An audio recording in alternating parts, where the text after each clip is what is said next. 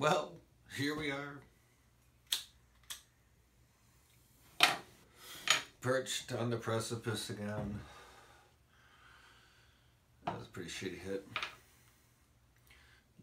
Looking at the green wall back there, contemplating great change.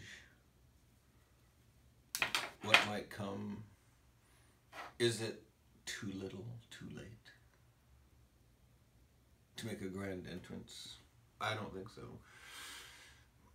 But then I never have. It doesn't feel good.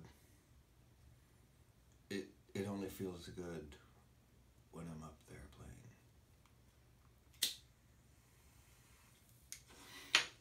Or when I'm feeding the skunks, the cats, handing out socks, giving. That feels good.